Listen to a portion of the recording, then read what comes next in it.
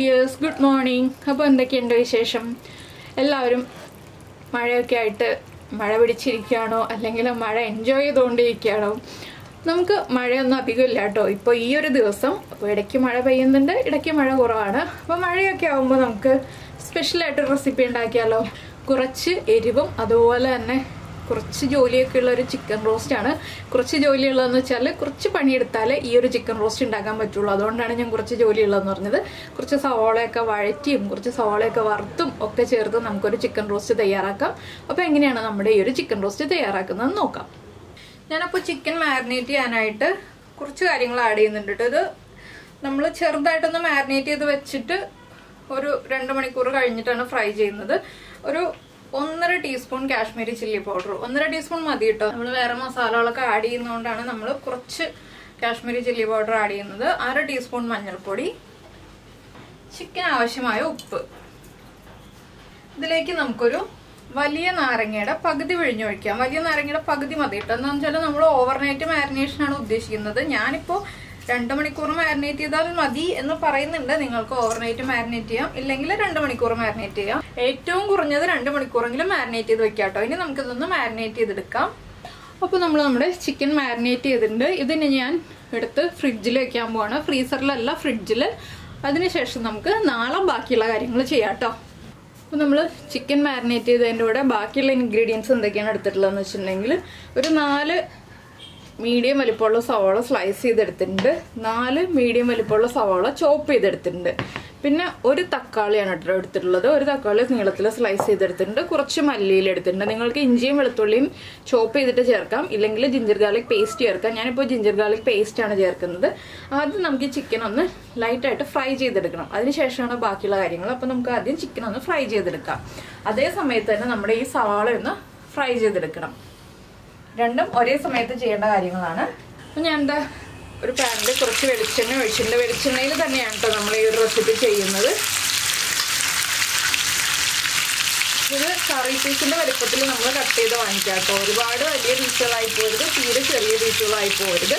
കറി പീസിന്റെ വലുപ്പത്തിൽ കട്ട് ചെയ്ത് വാങ്ങിക്കുകയാണ് എപ്പോഴും നമുക്ക് ഈ ഒരു കറിക്ക് നല്ലത്. അതുപോലെ തന്നെ കുറച്ച് ഫാറ്റൊക്കെ ഉള്ള പീസായിരിക്കണം ഞാൻ അപ്പുറത്തെ ബർണറിൽ നമ്മുടെ സോള ഫ്രൈ ചെയ്യാനായിട്ട് എണ്ണ ചൂടാക്കാൻ വെച്ചിട്ടുണ്ട്. കുറച്ച് ഗ്യാപ്പ് ഇട്ടിട്ടൊന്ന് ഫ്രൈ ചെയ്യാൻ വെക്കാം കേട്ടോ. അപ്പോൾ വേഗം നമുക്ക് ഫ്രൈ ആയി കിട്ടും. ഇനി ഇതൊന്ന് ഫ്രൈ ആയി വരട്ടെ. ഈ സമയത്ത് നമുക്ക് സവോള ഫ്രൈ ചെയ്തെടുക്കാം. ഇനി എന്താ? കുറച്ച് കുറച്ച് ഇതാണ് കേട്ടോ സവോള ഫ്രൈ ചെയ്യാൻ ഇടുന്നത്. അപ്പോൾ രണ്ടും ഒരേ സമയത്ത് ഫ്രൈ ആക്കിയിട്ടാണ് ഇതുപോലെ ചെയ്യുന്നത്. ഇനി സവോളയും ഫ്രൈ ആയി വരട്ടെ. നമ്മുടെ ചിക്കനും ഫ്രൈ ആയി വരട്ടെ. നമ്മളിപ്പോൾ ചിക്കനും അതുപോലെ തന്നെ സവോളയും നന്നായിട്ട് ഫ്രൈ ചെയ്തെടുത്തിട്ടുണ്ട്. സവോള ഇതായതുകൊണ്ടോ ഇതുപോലെ ഫ്രൈ ചെയ്ത് മാറ്റിയിട്ടുണ്ട് കേട്ടോ ഇനി നമുക്ക് ബാക്കിയുള്ള എണ്ണയിൽ ഇതിപ്പോൾ ചിക്കൻ ഫ്രൈ ചെയ്ത ബാക്കിയുള്ള എണ്ണയാണ്. സവോള ഫ്രൈ ചെയ്ത എണ്ണ ബാക്കിയില്ല കേട്ടോ ഇനി നമുക്ക് ഇതിലേക്ക് നമ്മൾ ചോപ്പ് ചെയ്ത് വെച്ചിരിക്കുന്ന സവോളയില്ലേ അതിട്ട് കൊടുക്കാം. ഞാൻ ചിക്കൻ ഫ്രൈ ചെയ്ത എണ്ണ ഈ പാനിലേക്ക് ഒഴിച്ചു എന്ന് മാത്രമേ ഉള്ളൂ.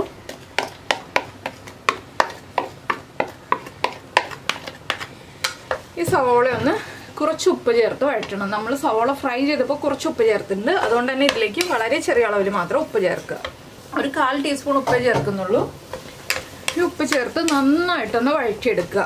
ഇതുപോലെ ചോപ്പ് ചെയ്തെടുത്തിട്ടുണ്ടെങ്കിൽ വേഗം നമുക്ക് വഴറ്റിയെടുക്കാം. പിന്നെ എണ്ണ നല്ല ചൂടായ എണ്ണയാണല്ലോ. അപ്പോൾ ഇനി ഇത് നന്നായിട്ട് വഴന്ന് കഴിയുമ്പോൾ നമുക്ക് ബാക്കിയുള്ള കാര്യങ്ങൾ ആഡ് ചെയ്യാം. നമ്മൾ ഇതിലേക്ക് പച്ചമുളകൊന്നും ചേർക്കുന്നില്ല കേട്ടോ. നിങ്ങൾക്ക് വേണമെങ്കിൽ പച്ചമുളക് ചേർക്കാം. ഞാനിപ്പോൾ പച്ചമുളകൊന്നും ചേർക്കുന്നില്ല. കാശ്മീരി ചില്ലി പൗഡറാണ് ചേർക്കുന്നത്. പിന്നെ തൈര് വേണം. പുളിയില്ലാത്ത തൈരാണ് നമ്മൾ ചേർക്കുന്നത്. അപ്പോൾ സവോള ഒന്ന് വാടി തുടങ്ങുമ്പോൾ നമുക്കിതിലേക്ക് ജിഞ്ചർ ഗാർലിക് പേസ്റ്റ് ആഡ് ചെയ്ത് കൊടുക്കാം. ഒരു രണ്ട് tablespoon ginger garlic paste ഇഞ്ചി വെളുത്തുള്ളി ചതച്ചാണെങ്കിലും ഈ ഒരു സമയത്ത് തന്നെ ആഡ് ചെയ്ത് കൊടുക്കാം കേട്ടോ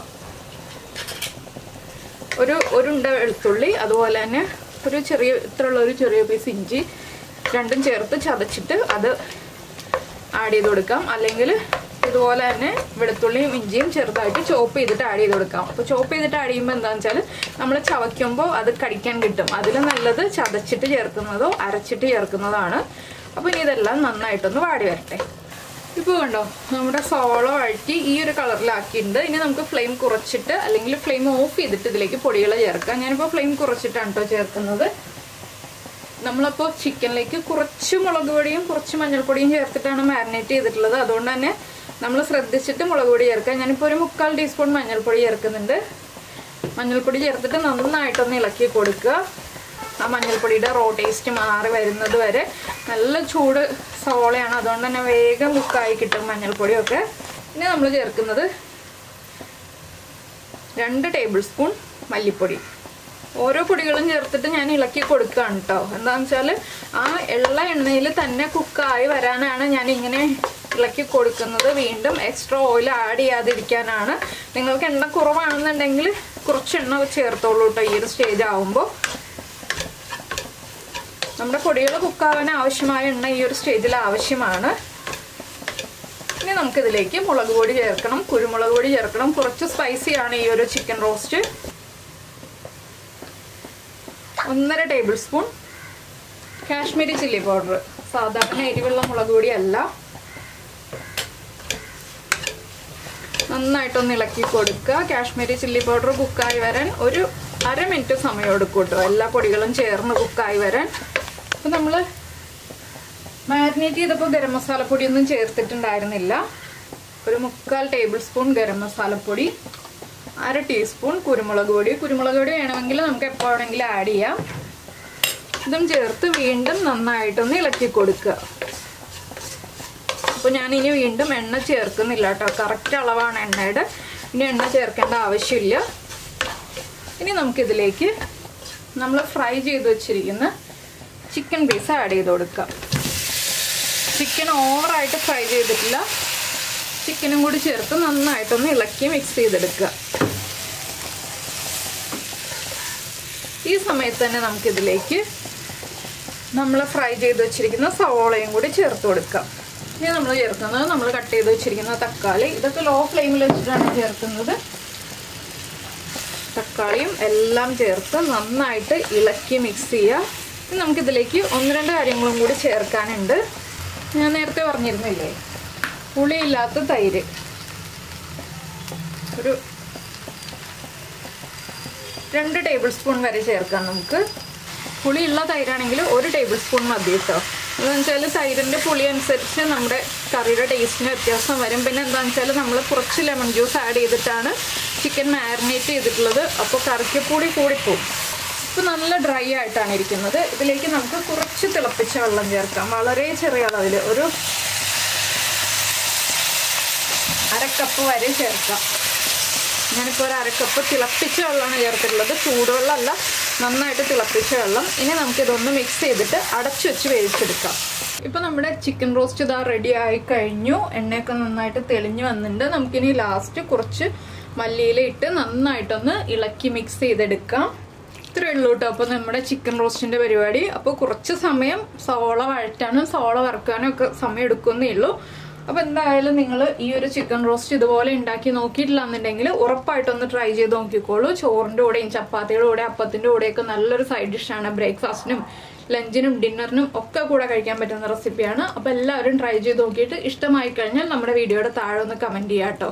പിന്നെ എരിവ് കുറവാണെങ്കിൽ കുരുമുളക് പൊടി ഏത് സ്റ്റേജിലാണെങ്കിലും ആഡ് ചെയ്ത് കൊടുക്കാം. ലാസ്റ്റ് ആണെങ്കിലും നമുക്ക് ആഡ് ചെയ്ത് കൊടുക്കാം. എപ്പോൾ ചേർത്ത് കൊടുത്താലും കുഴപ്പമില്ല.